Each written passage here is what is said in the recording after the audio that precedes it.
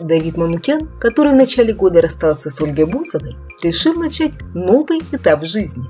Блогер уже лег под нож пластического хирурга и сделал липосакцию спины, подбородка и живота, а также мини-абдоминопластику. Кроме того, Дава решил покончить с долгами и закрыл многомиллионную задолженность. Однако блогер все равно чувствует себя подавленным. Недавно Давид высказался по поводу шоу-бизнеса в Москве. Блогер чем-то возмущен, но не предоставляет никакой конкретики так как высказываться нельзя. Кроме того, Манукян отмечает, что у него на душе много всего, чем бы он хотел поделиться. Вроде бы и нужно высказаться, а вроде нельзя. Короче, на душе столько всего. Надеюсь, когда-нибудь посидим вместе и поговорим душевно, написал блогер Stories.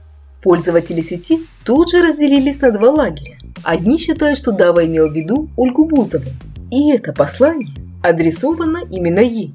Блогер скучает и никак не может смириться с тем, что так резко разорвал с ней отношения.